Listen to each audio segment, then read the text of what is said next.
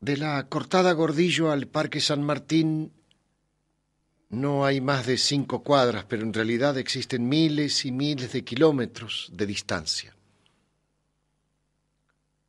Nadie que no tenga realmente que ver con ella se asoma por la cortada Gordillo. Ni siquiera los soldados y los camioneros que se acercan a silbar suave y románticamente hacia las ventanas de los altos de la fonda y pensión Buenaventura, semi iluminadas con tenue luz rojiza, son enteramente ajenos a ella.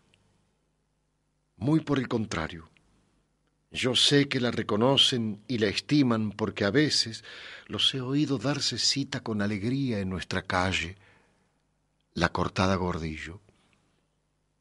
Le he preguntado a doña Teresa por qué los soldados silban a llegar a su casa y no llaman simplemente a la puerta, silban y doña Teresa me explicó, yo hago mi negocio, chico.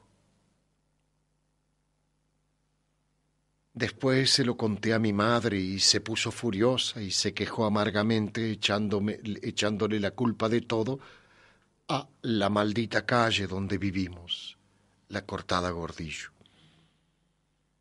Yo se lo conté pero no del todo al ver cómo ella sufría. No le dije, por ejemplo, que no entiendo bien lo del negocio, puesto que, después de ver entrar a un soldado trepándome por el desagüe, lo volví a ver desnudo, junto a una mujer desnuda, fumando y riéndose en la cama. ¿Cuál es el negocio? Mi madre vive quejándose de la calle La Cortada Gordillo y diciendo que ella tiene la culpa de todo, que un hombre prospera, que la calle La Cortada Gordillo tiene la culpa de todo, que un hombre prospera o se viene abajo según el barrio en el que vive. Mi padre la escucha en silencio, a veces apaga la radio para escuchar sus lamentos, calla y luego vuelve a encenderla.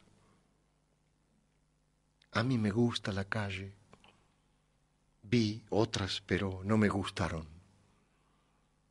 Me gusta esta que, por ejemplo, en los carnavales se llena de alegría y de bulla. Entonces salen todos de sus casas, hasta el zapatero, que es un comunista, sale, y todos ellos llenan los baldes y las cacerolas con agua, y entramos cada uno en las casas de los demás con entera libertad, como si fuera la propia. A los muchachos les gusta entonces empapar a las mujeres, aún a las de la fonda Buenaventura.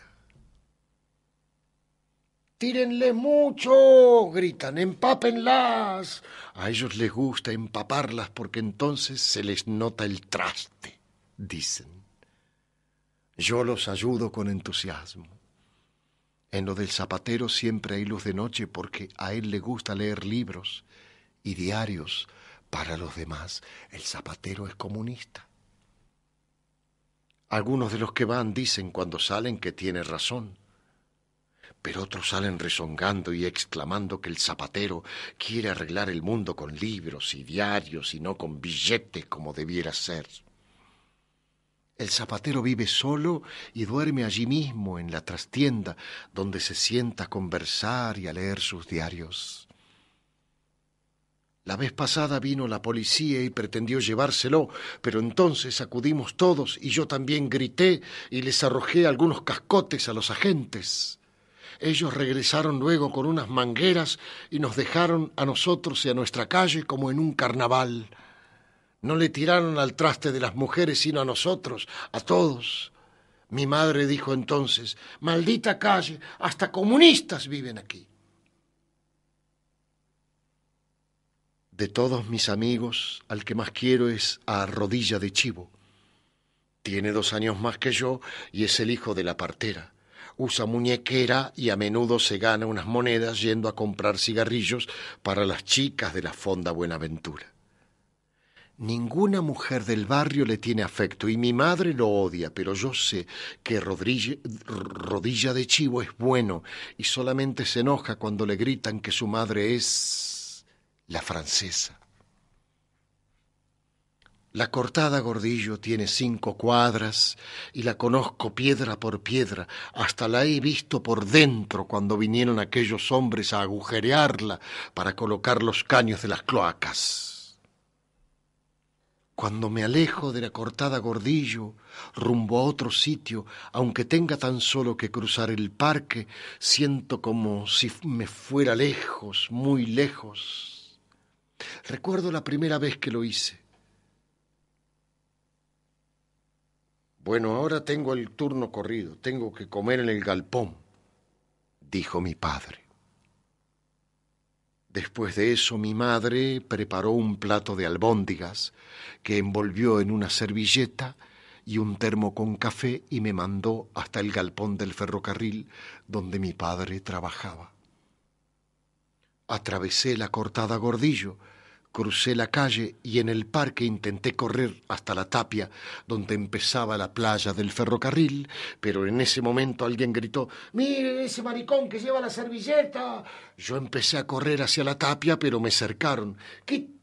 Quítale todo, es un cagón, es un cagón. No, es para mi viejo, les dije pero ellos gritaron, oh, oh, es para mi viejo, es para mi viejo, es para mi viejo. Entonces no tuve más remedio que golpear para defenderme hasta que llegó Rodilla de Chivo y los ahuyentó, porque como tenía muñequera pegaba fuerte. Rodilla de Chivo me ayudó a recoger las albóndigas y a ponerlas de nuevo en el plato, pero no el termo porque estaba roto. Luego corrí hasta la tapia de la playa del ferrocarril, la crucé y llegué al galpón donde sobre una mesa de papeles con su saco gris trabajaba mi viejo. No pude ocultar las manchas de sangre de mi camisa. Mi padre me miró, parecía cansado detrás de sus anteojos, miró las, albóndigas, luego las envolvió nuevamente en la servilleta quiso decir algo, tal vez, pero no lo dijo, simplemente, en silencio, empezó a ordenar con la mano que dejó extendida sobre el mostrador las esquinas de los papeles. Yo estuve sentado un rato y después me fui. Volví corriendo y al entrar de nuevo en la cortada Gordillo, me sentí lleno de alegría, inmensamente feliz, saltando por entre los charcos de la vereda, primero con un pie, luego con el otro.